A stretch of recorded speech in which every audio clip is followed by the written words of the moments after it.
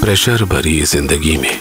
ना खुद के लिए फुर्सत और ना खुद का ब्लड प्रेशर चेक करने का टाइम जब आप प्रेशर चेक करना टालते हैं तो आप बीमारियाँ पालते हैं। अरे, आप इंसान है। प्रेशर कुकर नहीं। न जाने कौन कौन सी बीमारी तेज़ी से पक रही है इस प्रेशर कुकर में। हाइपरटेंशन के शुरुआती दौर में आमतौर पे लक्षण तो नहीं दिखते, लेकिन हाइपरटेंशन एक साइलेंट किलर है, जो कि हार्ट अटैक स्ट्रोक और किडनी फेलियर का कारण बन सकता है।